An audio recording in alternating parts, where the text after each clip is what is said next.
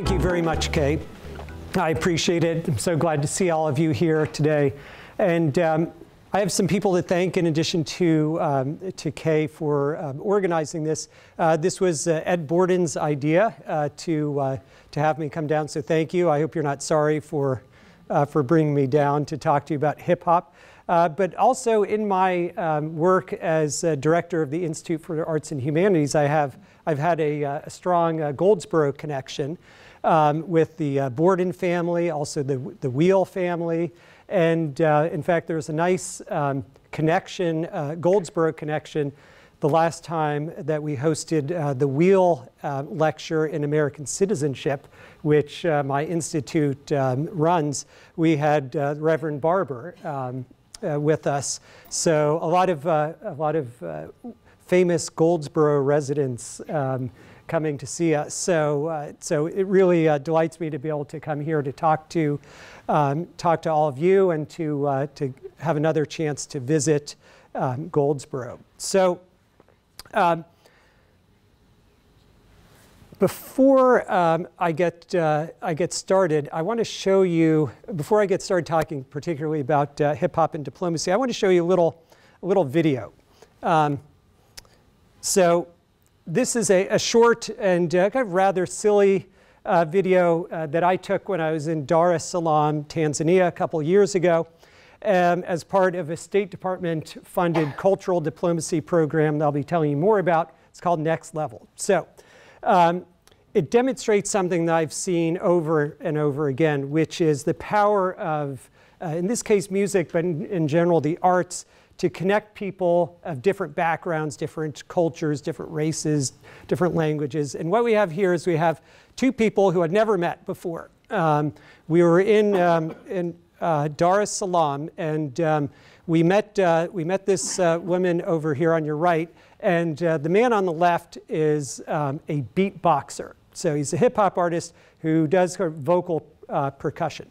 So they couldn't speak to each other because uh, he, he doesn't speak Swahili and, and she doesn't speak English. But I want you to watch this video of them um, meeting for the first time and making music together.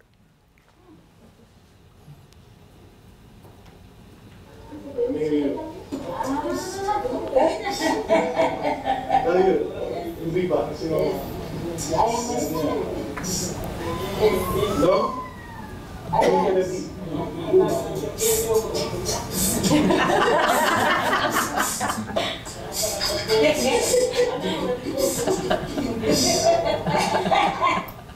okay, so that was just something I took on my phone uh, very spontaneously. But what's kind of remarkable about this about this scene is that two people who have no connection, no connection at all, they can't speak to each other. Their histories are completely different she's Muslim, he's Jewish, he's American, she's Tanzanian. Um, they, they have no, no friends in common, uh, uh, to put it uh, mildly. Um, and after 30 seconds, did you see what was happening? They were smiling, they were laughing, they had a connection, a bond had formed.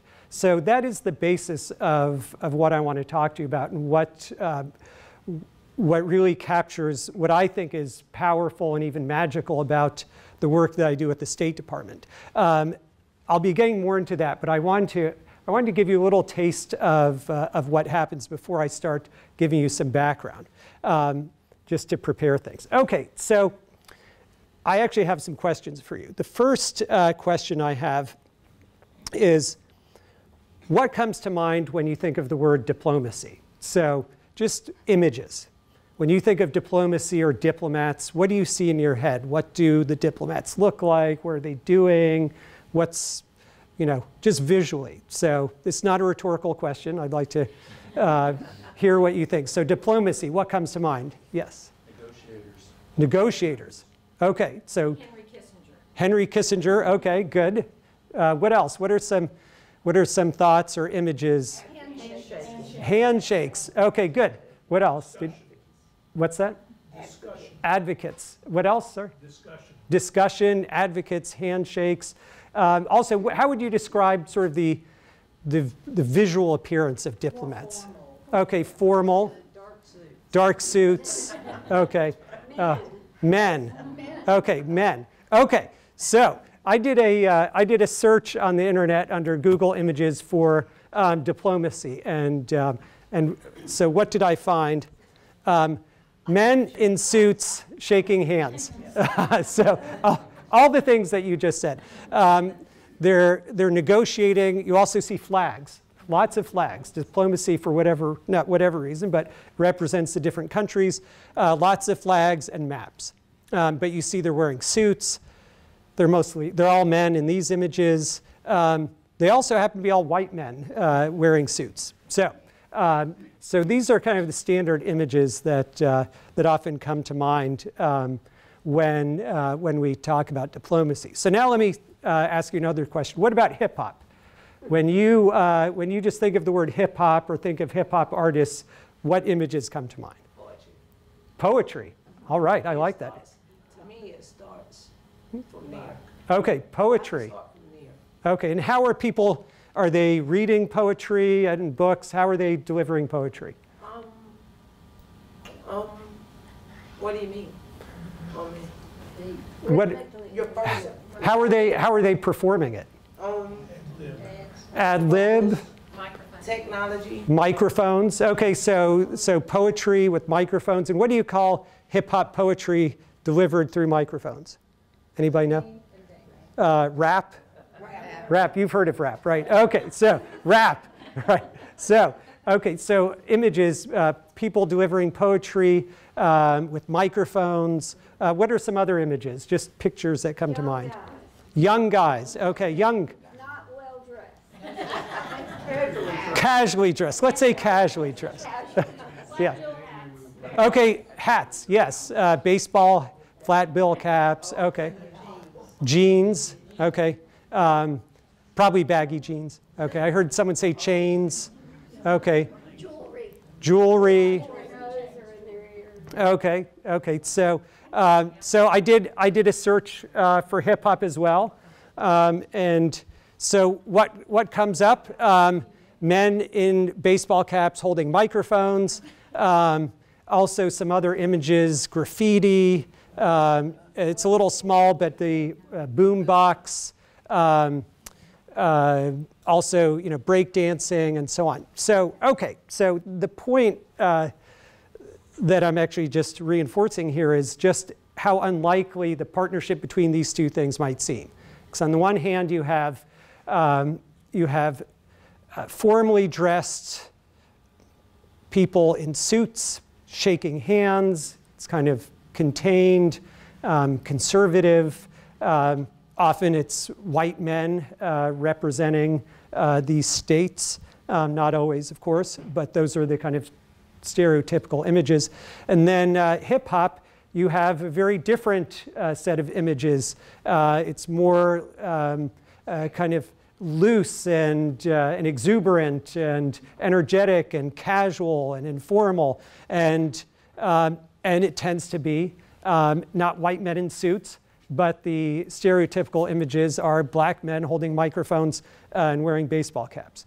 Now, actually, both those are a little um, limited in their scope because, um, of course, uh, uh, Hillary Clinton was uh, Secretary of State, this country's top diplomat.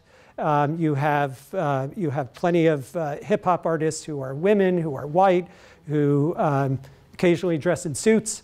Uh, but, uh, but the point is that these two things, um, for most people, don't seem to go together. Um, and yet, what I've been doing for the last uh, four years and traveling around the world um, running is a hip hop and diplomacy program. So the reason I'm here is to talk about that partnership of hip hop and diplomacy, to tell you about what that means, what hip hop diplomacy means, why it works. I'm going to make an argument um, because I, I believe in it. I've been running this program and I've seen over and over again how this type of what's called cultural diplomacy, not the formal diplomacy of, of diplomats making, um, you know, coming to agreements or accords, but, um, but cultural diplomacy in which the citizens of different countries come together. Um, it's also called people to people diplomacy. And why that works and, um, and talk to you about this phenomenon that you've probably never heard of, uh, but uh, hopefully you will um, uh, enjoy hearing about and, um, and maybe even come to believe that, that as I do, this is a really powerful form of diplomacy. So then let me just um, answer the question, what exactly is hip hop diplomacy? So hip hop diplomacy is a form of public diplomacy, or as I mentioned, person to person or people to people diplomacy that uses hip hop music, dance, and culture to foster mutual understanding, appreciation, and cooperation among people of different cultures. So again, uh, in the term, in terms of diplomacy, you have the kind of formal diplomacy, which are people who are trained as diplomats. Their job, uh, they may be ambassadors, it may be the, the Secretary of State, uh, they may be ministers. People come together to try to hammer out agreements uh, between two countries. But there's also a form of diplomacy that is um, more informal, and it's based on people who are citizens, not not uh, uh, civil servants, not foreign service officers, but just citizens of the countries coming together to meet, to, um, to build bridges, and to promote um, understanding and cooperation. So, uh, cultural diplomacy is a form of uh, this kind of people to people diplomacy that uses culture as the platform. So, it could be anything. There's every, any kind of culture that you can imagine has had a corresponding form of diplomacy. So there has been jazz diplomacy. In fact, some of you may have heard of this. Uh, in the 50s and 60s, uh, people like Duke Ellington, Dizzy Gillespie, Louis Armstrong, Dave Brubeck, and others were sent by the State Department all around the world to perform, and it was, uh, they were considered a Cold War weapon or a weapon in the fight against the Soviet Union. And part of the reason um, at that time was uh, to try to prove to the Soviet Union that we had culture too. Um, and, uh, uh, and also to demonstrate that our people were free and unlike their people. So it was, um, it was an honest, authentic means of connecting people, but at the same time, it was a form of propaganda. Um, it was a war of propaganda. So there is a precedent to, uh, to hip hop diplomacy, the jazz diplomacy.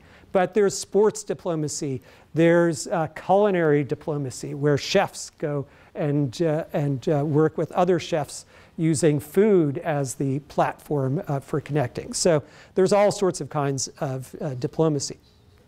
Um, so let me tell you about the particular uh, program that I run, which is called Next Level. So, Next Level is an initiative of the US Department of State, uh, particularly the Bureau of Educational and Cultural Affairs, that sends teams of US hip hop artists abroad to work with underserved communities, usually with uh, young people, and it's to promote cultural exchange, entrepreneurship, and conflict reduction or uh, conflict transformation. And, um, and it's a program that I actually created in, uh, in 2013. Um, a call was put out to, um, to various arts organizations and universities by the State Department looking for an organization to create this new program. And it was, uh, it was fairly vague. They said they wanted hip hop or some kind of urban music as a means to connect people, and they kind of left a lot of things open. And so um, you might ask, well, how is it that I had the idea to apply for this?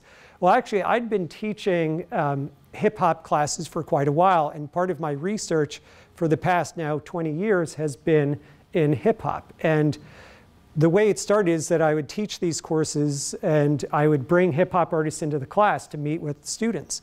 And then I would start collaborating more and more with these hip hop artists. And eventually I started teaching a class um, called Beatmaking Lab with, um, with a hip hop producer. And then the next step of that was uh, we raised money and uh, I sent uh, these two hip hop artists to Congo to work at a, uh, a youth center run actually by one of my wonderful colleagues, Cherie Ndaliko. And, uh, and they taught um, hip hop to young Congolese um, uh, teenagers and, and young adults. And um, made a video about it. And it became so popular on YouTube that PBS got interested, commissioned several more of these trips. And so after a while, I was helping to head up this international program that sent, uh, that sent these hip hop artists around the world. So uh, that was in 2012. 2013, the call came out for, these, uh, for this proposal to create this program. And I thought, it's very much like what I'm doing now, but this is on a bigger scale. So I applied. Um, it's one of these things where I applied. It was a massive, massive application. And then I didn't hear anything from them for six months. And then I got a call. This tells you a little bit about, the, about bureaucracy. I got a call from a program officer, and she said, Well, I can't tell you whether you've gotten it yet, but can you answer this question? What would you do with another $160,000 for, with this program? I said, Okay, so I don't have it, but just hypothetically, if I did, what would I do with that? Um, and so, uh, so I came up with a good answer. And then, um, it, and then a couple of weeks later, they said, okay, you got it. Uh, it turns out they had some extra money, and before they told me I got it, um, they wanted to know what I would do with this extra money. So anyway, I've now been running this program um, for uh, four years. Well, it started in 2013, so it's, it's actually been five years, but our first residencies were in 2014. So um, since 2014, we visited actually 28 countries. Um, so I need to update my, uh, my bio on my website because I think it said something like 12 or 15. But, um, but from Azerbaijan to Zimbabwe, this happens to be a news broadcast in Serbia um, about our program. So um, what we do is we take teams of hip hop artists, each in a different discipline of hip hop. So rappers, dancers, DJs, um, beat makers who compose beats. We bring graffiti artists. We also bring beatboxers, and we kind of mix it up. We bring four of each. And we have these workshops uh, that run two weeks where we will work with up to 100 young people, um, and it's very intensive. They come in for three or four hours a day. They take, the, they take classes, they, um, and what we do is we don't just teach the craft of hip hop, how to rap or how to rap better dance or dance better or so on. But we also talk about things like entrepreneurship, how to create your own, uh, your own business out of hip hop or how to apply um, sort of hip hop entrepreneurship to the things that they might want to do in their lives. We also do a lot of work in um, conflict resolution where we, uh, where we use hip hop as a way to channel um, and sublimate violence and, and aggression into more positive ways. So I know a lot of you might uh, have an impression that hip hop is, is violent, um, but, and, and in fact, there, it, it can be, and, the, and lyrics can, can express violence, but in fact, the whole history of hip hop is you, the use of art to channel violence into something creative. So the, pre, the people who created hip hop, many of them either were surrounded by uh, violence in terms of gangs or were even parts, part of gangs. And they um, wanted a way out of, of this violence. And what they did is they created these art forms that seem to simulate violence um, in terms of the way they rap or the way they gesture or they dance. Um, but it was a way to channel that aggression to something more positive. So it turns out that conflict resolution is really a, a, a perfect um, or I should say hip hop, is a perfect vehicle for conflict resolution because it built at its core is taking violent or aggressive tendencies and turning them into art. So that's also one of the things I want you to take away from, uh, from this lecture, which is uh, I do want to challenge some of your preconceptions about hip hop. Um, some of them might be correct in some ways, but, um, but what you might think of as hip hop in terms of uh, the images that you see are often just the, a very small slice of hip hop. There are hundred, thousands of hip hop artists who, um, who don't advocate for violence. They, uh, they, might, uh, they might be activists in their community. They might be using hip hop to educate. They might be using it to promote human rights. And those are the kinds of hip hop artists that we work with. Um, so I want to show you um, a little uh, video of um, one of our next level residencies that happened uh, February 2018 in Myanmar, um, also known as Burma. Um, and uh, here's just a little, it's a two minute video of, uh, of what was happening, um, just sort of capturing sense of what was happening in uh, Myanmar. And you'll see me as well. Um, but that's not why I chose this.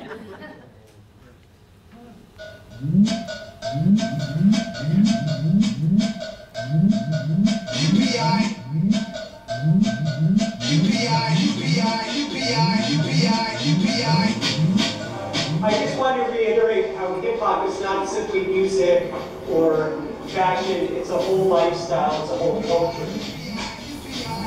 That is why we are here. It's because we feel like we are part of the same culture. Even though we're from the United States and we're from Myanmar, we're all part of the same hip hop.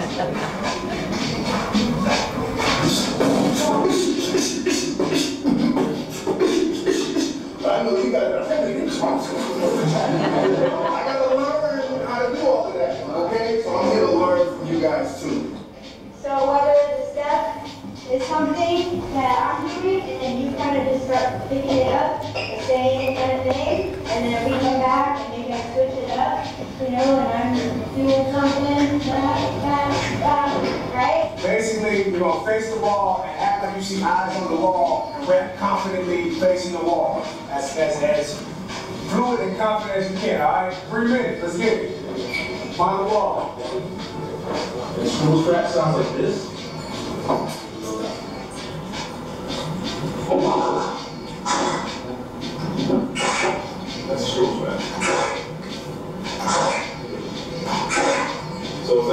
practice. Strong practice.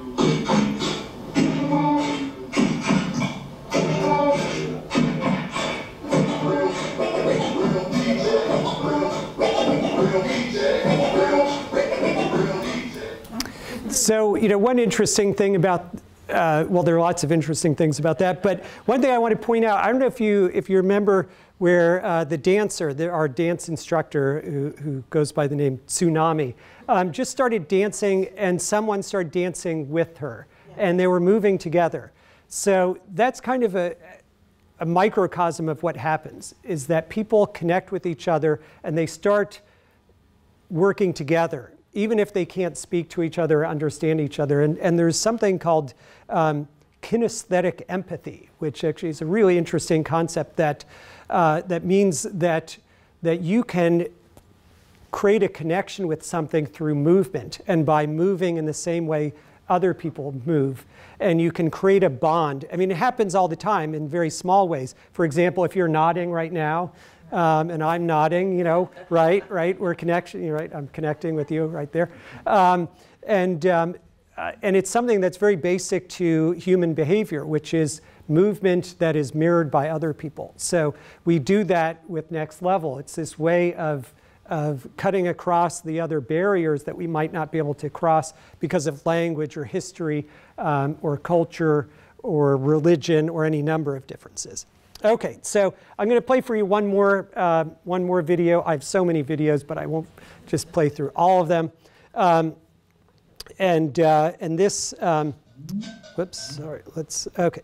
Um, hold on one second. Um, let, me, let me make sure. Oh, here it is. Okay. Um, so here's, here's one more that I just wanted to show you about um, that took place in El Salvador.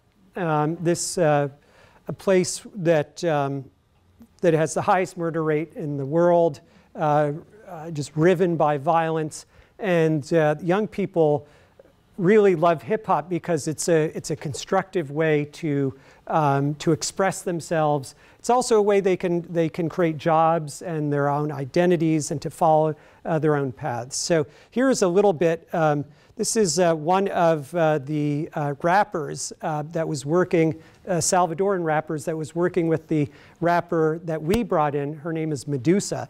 And, and he talks a little bit about her, and then you'll hear him rap as well. Um, so.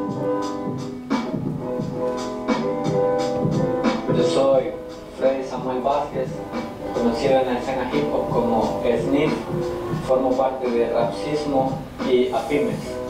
El proyecto Next Level cambió mi vida porque yo tengo más de 8 años de hacer música de una manera, pero con la intervención de Medusa, que fue nuestra mentora, nos dio herramientas para hacer las cosas mucho más fáciles, tener mayor presencia y aparte nos da los ánimos de seguir haciendo música.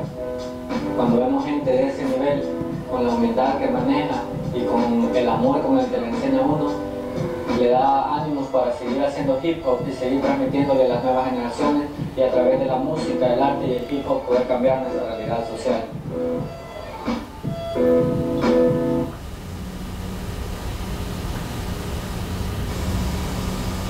Desde barrio, serio, con criterio, somos el universitario, es modelo intermediario, soldado tu adversario, es un empresario que da un salario precario, señora maquillera que se esmera para poder parar la pobreza en casa, pone mano en mesa, aunque sea cara la cosa, expresa madre soltera, sueña para ser enfermera, no se pudo, pero lucha porque su hija lo será.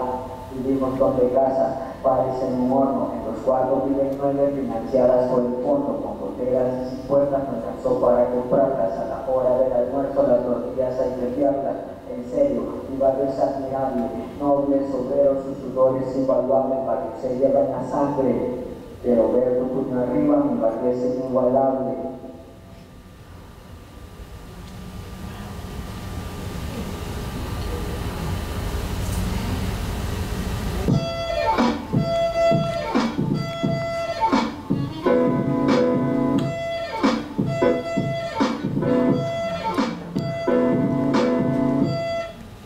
So um, I hope you're able to read the, uh, uh, the subtitles or understand Spanish. Um, but, um, but I think what he was saying was really powerful. First of all, he was talking about. Um, oh, oh, sorry. Okay, I'll move the other one. Um, so I'll just quickly summarize. Uh, he was, there are two parts to this. One where he was talking about the connection he had with the American um, instructor Medusa and how um, he felt you know, really honored to work with her and that, um, and that, uh, that connection was helping him and, um, and uh, the people of his community. And then he came up and, and rapped. Um, that was one of their assignments was to talk about their own experience. And so he talked about his neighborhood, his hood. And he talked about just at first you might think he's talking about just how horrible it is. They live in houses like ovens, they have no money, they have to borrow money just for tortillas at lunch and so on. Um, and then he ends up by saying how, how much he loves his neighborhood. So it's a, it's a powerful statement that he's making. He's talking about, about life in El Salvador. He's using art to talk about life in El Salvador. And he's also talking about, how, about his love for his country. And, uh, and so these are the types of things that we try to foster. Um, you know, he could have, you could imagine a very different path where he's faced with the same, the same trials, the same tribulations, but decides that he has to, um, you know, feed his family by, um, by selling drugs or get, falls in with a gang. But he's able to use his art to find a different path. So that's why I'm, um, I think this is such a powerful, a powerful tool, hip hop diplomacy. So let me um, uh, just go back for a moment and just ask the question why hip hop? Why is it that hip hop is a powerful platform? Why not, um, I don't know, um, you know, barbershop quartets, say, um, or, you know, or death metal? I don't know. I mean, it's possible all those would work. But um, but there's some particular, uh, particular things about hip hop that are that are really kind of crucial. Um, one is that it's popular. It's not just popular, it's globally popular. And in fact, it's the most listened to music genre on the planet. So, what that means is that wherever we go, there are people who know hip hop. So, that means we have a means to connect with them. So, we're not trying to teach them viola. Um, they already know, uh, they already know hip hop. They may know viola too. But um, another thing is that it's, uh, it's popular among young people. And uh, that demographic is the, is the fastest growing demographic in the world. It is uh, the demographic that all governments need to pay attention to because not only obviously they're the future, but they're also the key to revolutions.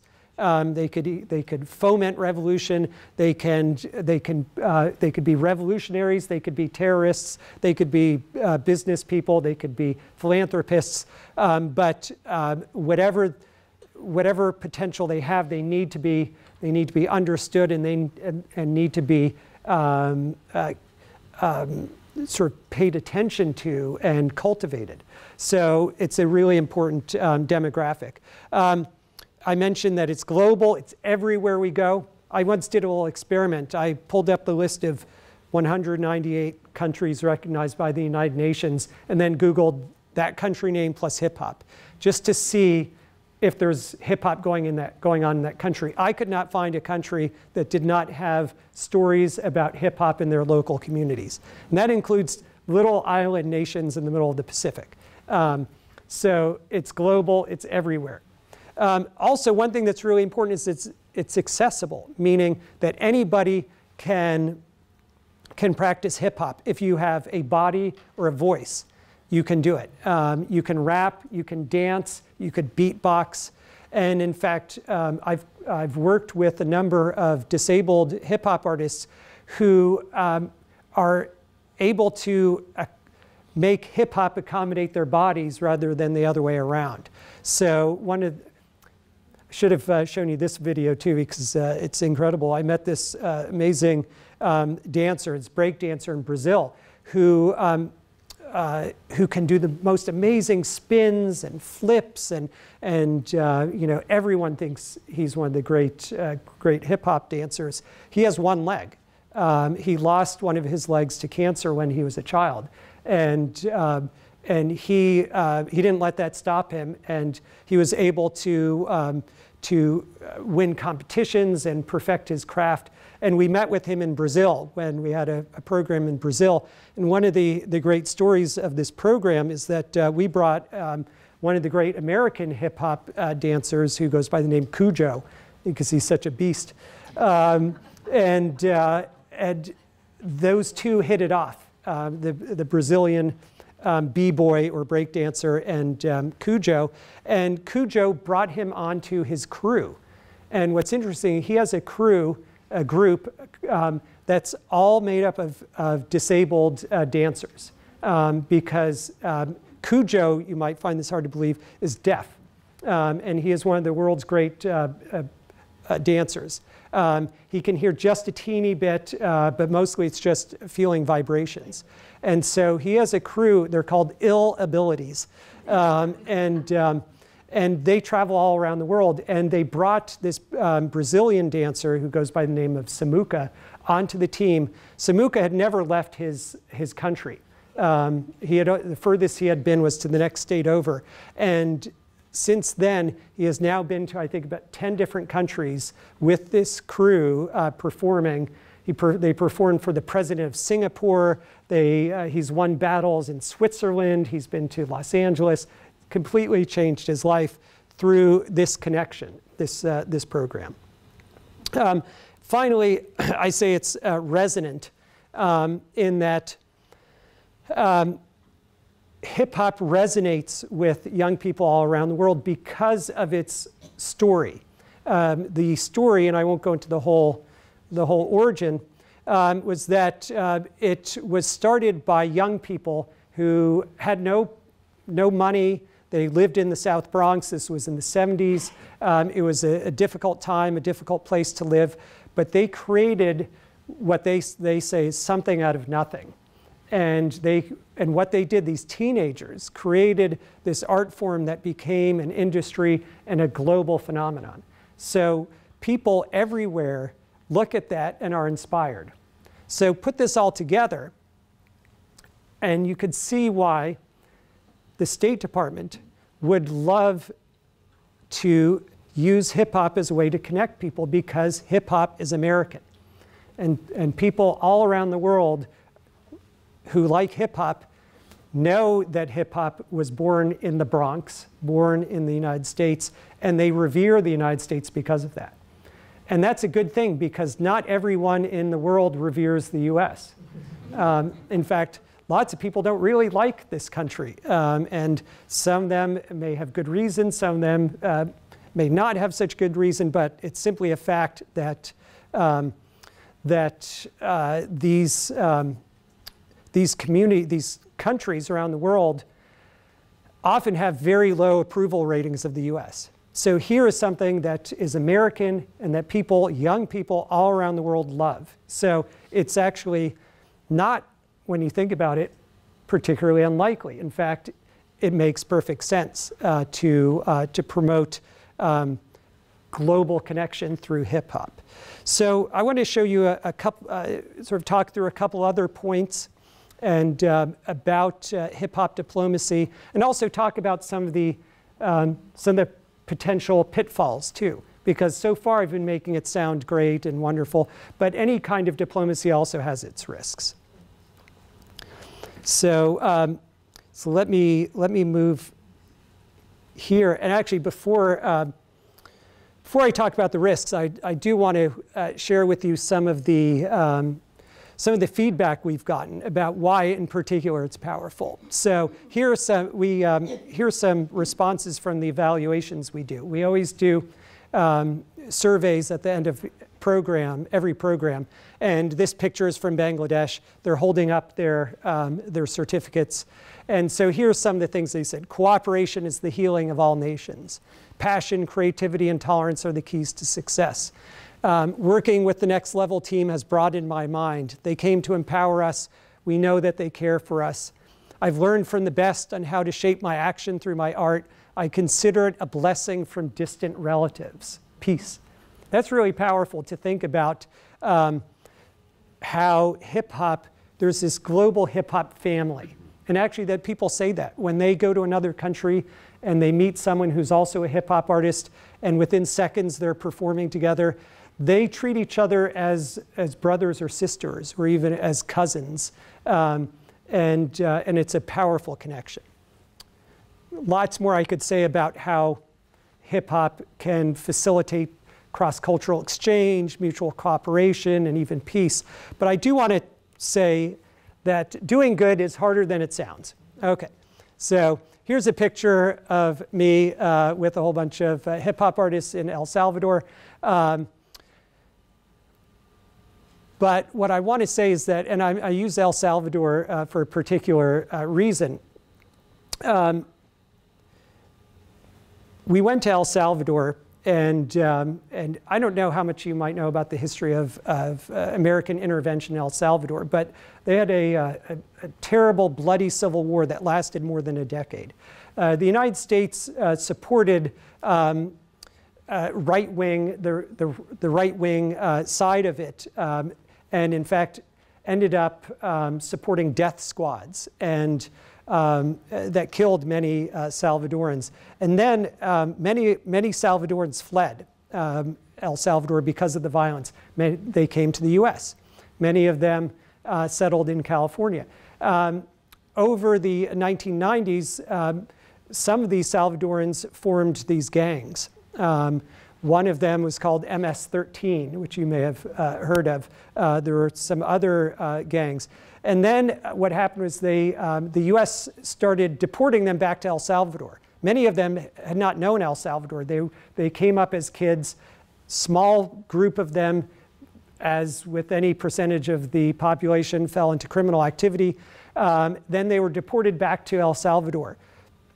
So the US think about this the US uh, intervened in their country, drove people into our country, Then, when some of them uh, became criminals, we send them back to their country where they became even more violent. And now um, El Salvador has uh, the highest murder uh, uh rate in the world.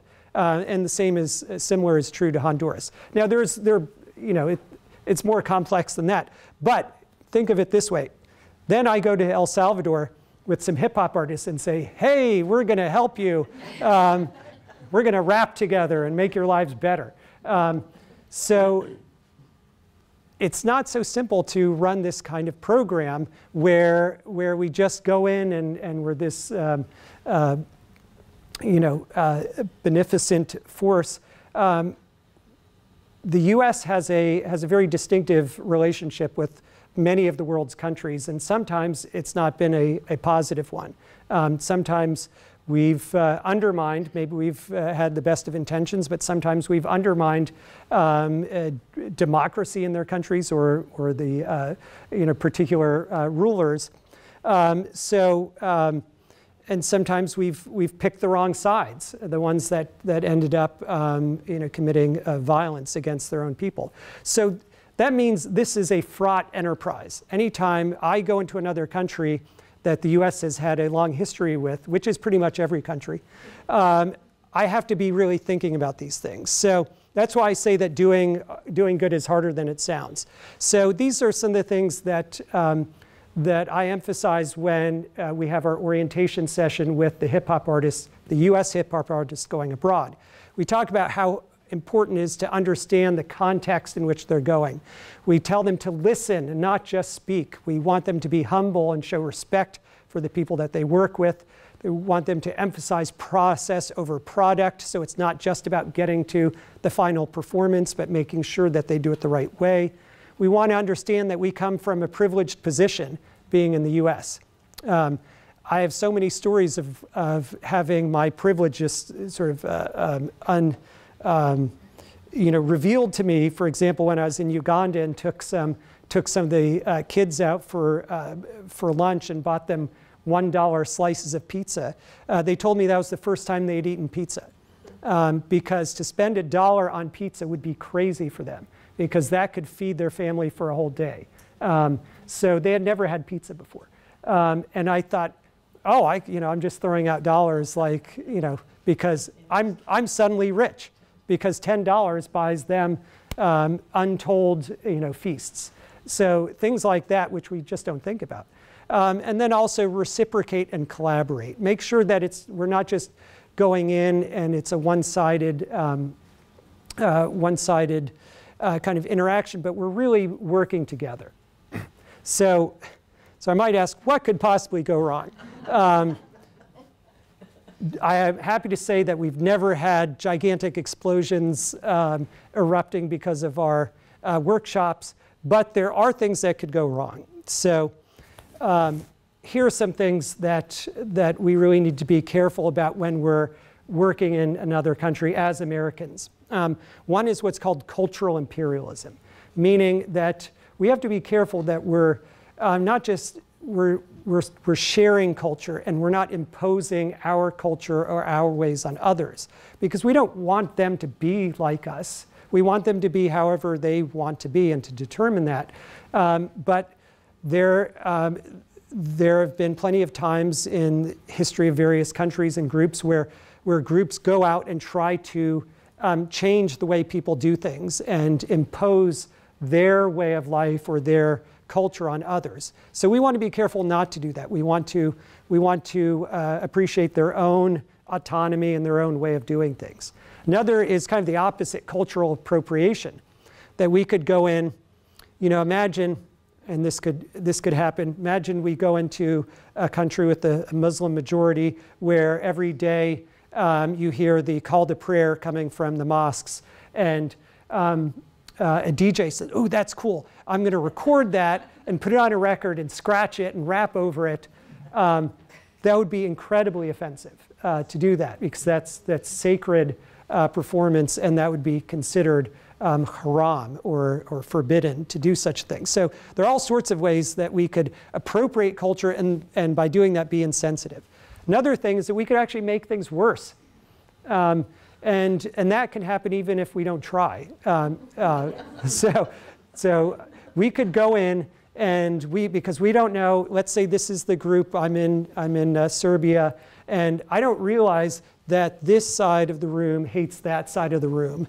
And you know, you're from one uh, crew and you're from another crew, and I brought you together, and I could actually, without, you know, without trying, understanding what's going on, I could, it could be better that you're not in the same room. Um, and maybe it's better I could try to work things out. That's where conflict transformation comes in. But in fact, there have been times where we've seen tensions flare. And that can happen however, however hard you try to avoid that. But these are the realities. Okay, so you can bring in new tensions, you can worsen tensions. Okay, so a couple of conclusions, and then I'd uh, love to open this up for discussion. So these are some of the things that I take away from, from my work uh, through Next Level. One is that cross cultural interactions can promote mutual understanding and foster peaceful relations. Hopefully, you've seen that in some of the examples. On the other hand, they could also do harm. Um, but also that music and the arts in general can be a potent means of promoting cross-cultural exchange. Um, and finally, um, I'm happy to say that uh, my next book, I just finished a draft of my next book, which is about this subject. I finished on Friday, and then um, uh, so I'd have time to prepare for today. And, um, and I thought I would share for you uh, the last sentence uh, that I wrote. So I, I write in this book um, hip hop, a US born art form that has become a voice of struggle and celebration worldwide, has the power to build global community at a time when it is so desperately needed. So thank you.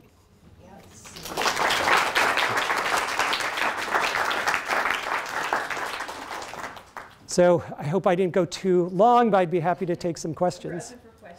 Yes. How do you recruit the people that go with you? Okay, so recruiting, good question. We actually, it's an, it's a, um, the way we recruit the artists that go with us, it's a, a, national competition actually. So we put out a call for applications. People have to apply with uh, written statements about why they want to do this, why they're uh, qualified to do it, and they also have to send us um, some uh, work samples of their rapping, their dancing, their DJing, and so on.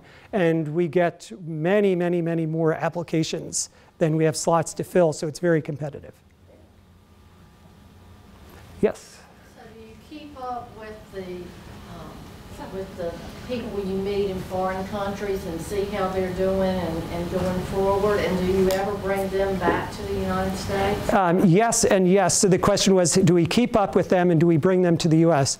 One thing uh, that, uh, that I didn't mention is that every cycle, a cycle is uh, either five to seven countries uh, that we go to. At the end of each cycle, we bring one artist, one participant from each of those countries as a team back to the US for a two week residency where they do um, uh, basically um, arts and uh, professional development um, workshops. And then the idea is that we want to give them um, tools to, uh, to really lead their own communities uh, back, uh, back home. But in terms of keeping up with people, every single day. So I'll just get a Facebook message that says, Mr. Mark, they call me Mr. Mark, uh, or sometimes Dr. Mark. Um, you know, how are you doing? So I was just corresponding with, a, with a, a young man in Uganda who's studying social work, and, um, and he just wanted to see how I was doing. Um, uh, on a sadder side, um, in Egypt, um, one of the artists that we worked with died tragically uh, in a car, uh, car crash. So we posted something on our Facebook uh, page uh, as a tribute to him, and we, uh, we, we put it in English and Arabic, and, and it, was a, it was a small gesture, but, um, but his community really appreciated that we, were, that we cared enough to, uh, to write. And um, I'm in touch with people from all of the places I've been. So that's, that's, a, that's what's that's another important component is what we call the follow-on activity. Have another question. Sure. So where do you where do they perform when they come back to the United States? Are they based in Chapel Hill, or are you in North Carolina, or do you go all over the country? So uh, where they come, it it has varied. Uh, they have spent time in Chapel Hill. They've performed in various uh, elementary and high, uh, middle schools that happen to be the ones my daughter goes to. Um, she still doesn't think I'm cool, though. Um, but um, they've performed on campus. But they also go to Washington D.C. and New York. Uh, so it's uh, it's either two or three sites uh, that they go to, uh, where they'll do workshops and perform. Yes. Have they ever visited a community college? Um, they, well, I'm trying to think. I don't know. Should I bring a Should I bring a group to uh, Wayne Community College? Okay. All right. Well, then this talk was a success. If you want me to, if you want me to come back, I can. I know that. Yes. Um, I understand that this is a State Department program, but given the current culture of polarization in this country, has there ever been any thought to bringing hip-hop diplomacy to the United States? That is an excellent question, um, not just because I have that same question, um, but should, why are we just doing this internationally? Why not domestically? That's something I think about a lot. Practically speaking, the State Department doesn't do domestic work. But um, in fact, just today, I put in an application for a grant um, that would allow me to create programs like this in the US. So absolutely, and in fact, it does happen. It happens more, more kind of organically uh, in various communities.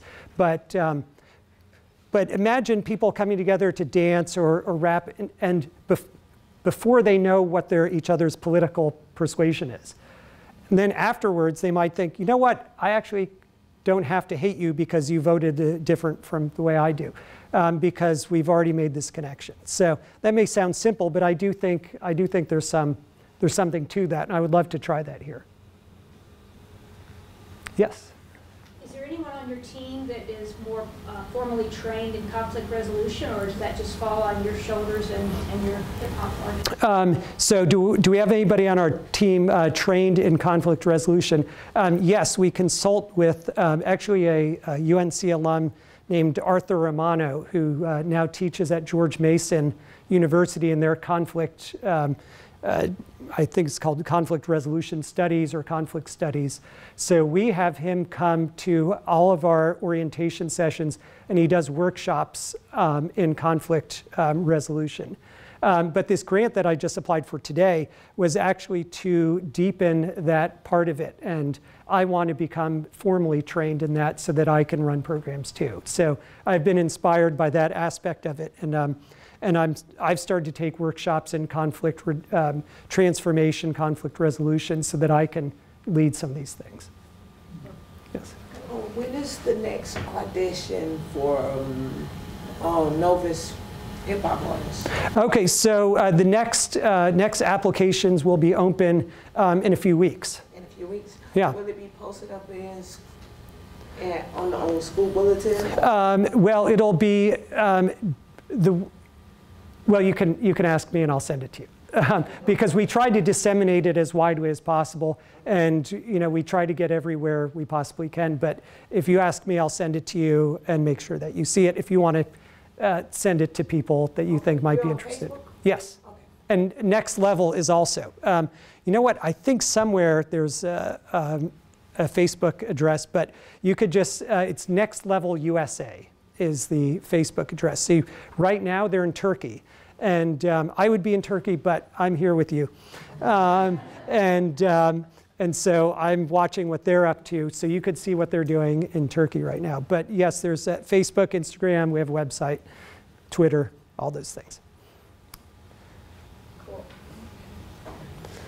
Oh, do you have a, I I wanted to plug real quick. They have a YouTube channel as well that shows some of their other trips that they've been on. oh yes, I forgot. And um, I, I spent one afternoon just watching video after video, and it's amazing to see the connections that they have with these different people in the, around the world. So please check out their YouTube page, Next Level, as well. Thank you, Next Level USA. So uh, thank you for that plug. I forgot that that was one of our, our uh, channels. But, um, well, I appreciate your, your great questions. Oh, yes, sir. I'm curious in your travels, I know we talk a lot about how it, it, hip hop brings communities together in various cultures. Did you notice any differences um, between, say, American hip hop. You know, I, when I've been to Europe, what I've noticed is, and I think it's finally gotten whole here, but the DJs in Europe are just as popular as the rappers. Yes, exactly. Yeah. Um, And I think that's a phenomenon that's ju- just now catching up in the U.S., but, I mean, they were as fiercely popular as, as whoever was spitting mic. Yes. Um, And that's, Spitting, that, that means rapping, rhyming, not actually spitting. and so I found that interesting when I, when I traveled uh, abroad, uh, particularly in Europe, that there would be these huge concerts, and it would just be the DJ. That's right. Uh, That's a great question. The question was, have I seen differences uh, between hip hop here and hip hop elsewhere? And he pointed out that DJs are extremely popular in, in Europe. That's absolutely true. They could have stadiums, uh, you know, concerts, just a DJ. Um, so the answer is yes. And one of the one of the really amazing things about hip hop is that it's so flexible. It can it can um, really what I'd say become indigenized. It can become in not just a not a borrowed form, but an indigenous form. So when I went to Zimbabwe, they don't think that that hip hop is borrowed from American. They think of it as Zimbabwean, and they incorporate the mbira, which is a, a percussion instrument. They they use their languages, Shona or Ndebele. Um, I've seen, you know. Um, Bollywood dance uh, in India to hip hop. Um, so they they absorb hip hop and they and they connect it with what's popular there. So that's one of the great things about hip hop too is that they don't see it as just an American import, um, but they see it as theirs. But they also see that it's uh, comes from America. So it has that kind of um, uh, dual power that it's theirs, but also they recognize the authenticity of its American birth. So thank you. Oh, thank you so much for coming tonight. Oh, is there another question? Oh, please go ahead and do that. Okay, and also I'm happy to talk afterwards too. Yes. Do y'all help like people to become professional artists? Yes, so if, if you didn't hear the question, do we help people become professional artists? Yes, that's something that's really important that we do. Um, that's uh, entrepreneurship is part of what we do, and we talk to them. We talk to the young people about how to not just how to be a great rapper, but how to get how to do things like promoting themselves, branding themselves. We talk about contracts. Uh, we talk about professionalism. We talk about um, how to um, you know do uh, flyers and and social media. So we don't want this is not just about entertainment. It's a way for them to find uh, to create their own livelihoods. And if they're not interested in becoming a professional hip hop artist, these lessons can also be applied to other other forms. So we want the entrepreneurship that we teach to be um, as broad reaching as possible. But that's something that's really important. And in fact, one quick thing, it's actually important to world peace. If you, because this may sound odd, but one of the, the greatest dangers in the world is young men without work. Um, and I'm serious. So um, that's, uh, so, and it's usually men, but it could be women, but mostly young people who don't have something constructive to do in their lives, don't have a way to make money. That's where, uh, that's a breeding ground for, uh, you know, for strife, discontent, um, you know, terrorism. So to the extent that we can help people create um, a, a living for themselves, it actually helps promote stability in their countries too. Okay, well, thank you very much.